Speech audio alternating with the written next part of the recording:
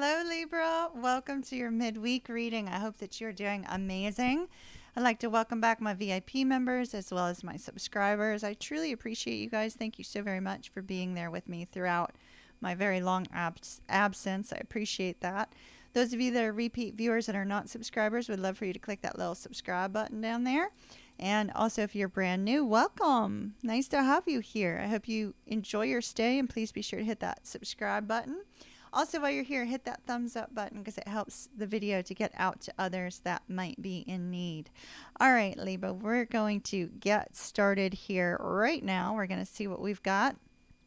And um, also, I'd just like to, to remind all of you that up on the website, I have 30% off, which is a little unusual for me to go so high.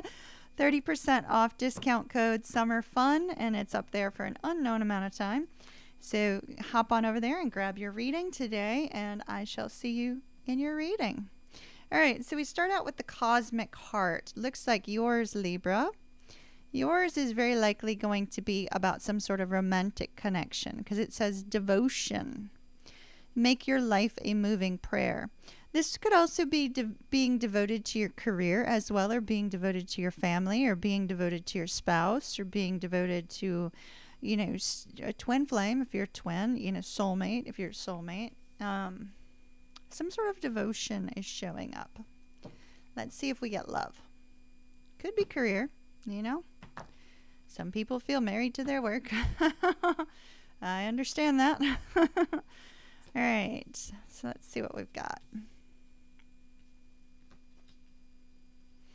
Ooh, yin and yang, twin flame. Twin flame, yin and yang, okay. Could also be your own internal balance.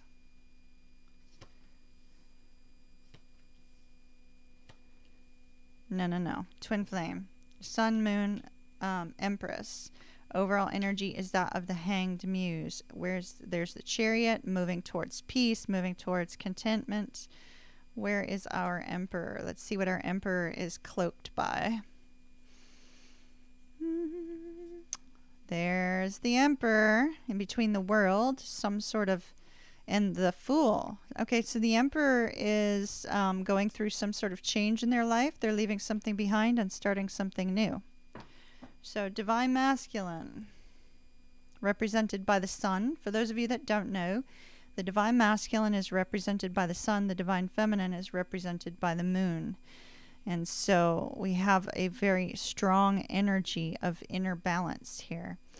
Um, with the muse or with the hangman, we see a new perspective. It's a new perspective on someone's devotion.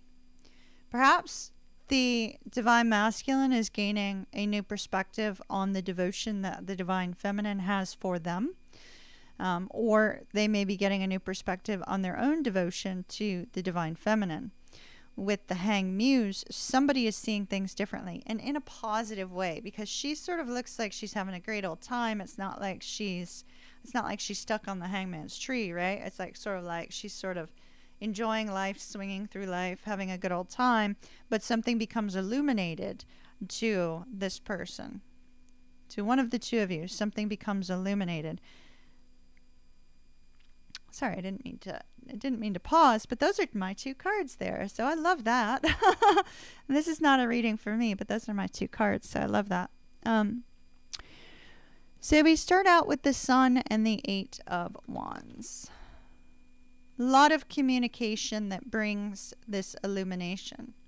A lot of communication is going to be coming in that helps this to become realized, to help bring this sense of enlightenment. Now, the sun is about enlightenment, and that little eye at the bottom of this card is also about that new perspective, which is bringing enlightenment. And the Eight of Wands is also balance. So something is coming into balance. It could be your own internal makeup, you know, balance of that yin, yin and yang energy. It could also be um, balance within a connection we definitely see love. We have the Two of Cups along with this emotional energy and devotion with Two of Cups, Page of Cups.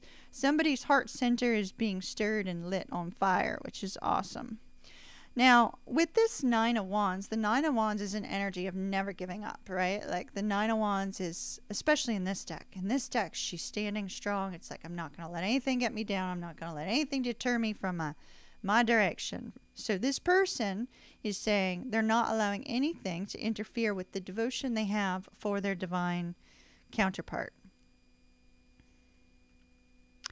No matter come hell or high water, it's ride or die for this person. And that includes third parties and, and karmics, right? It's sort of like even if they know there's a third party or there's a karmic, they're ride and die. They're still they're still devoted to that person. Still devoted because of the beautiful beautiful aspect of this connection. And we he, we see here that there is some sort of regret, very likely over a third party. So it does appear that there's some sort of regret over um, somebody not working with the other in the past, or um, the two of you not building a strong enough foundation for the things to move forward in a, a balanced and positive way, or as a result of somebody getting involved in a third party situation. Both of you could have gotten involved in third party situations. Sometimes it's where you learn your life lessons. And then we have the moon and the page of emotions. Somebody has their heart light turned on. See, like the light, like shining forth from this particular card. Look at that. It's like all of their emotions become illuminated and and within like the very core of their being see down here this little this little space at their very core of their being it's all of a sudden they're like I have to be with my divine counterpart. I know it. Like, I feel it. I feel it. I feel these emotions. I feel this love. I feel this devotion. I feel this, this sense of, of um, excitement. There's this, like, it's like their heart light becomes illuminated, and there's nothing that can deter this person from going after positive movement here with their divine counterpart. It's like love is love is love. Love endures. Love conquers all, right? Love never gives up. Love never gives up. So somebody's feeling the love pretty strongly, deeply with the moon, deeply, deeply. And then we have the new beginning. The Empress and the Queen of Wands, strong chemistry here. As somebody finds you, Libra, in this light of the Empress and the Queen of Wands, they see you as successful. They see you as, as you know, beautiful or handsome. They see you as um, somebody who can accomplish things in their life, in your life. They see you as somebody who's intuitive, somebody who's connected to other people that other people look up to.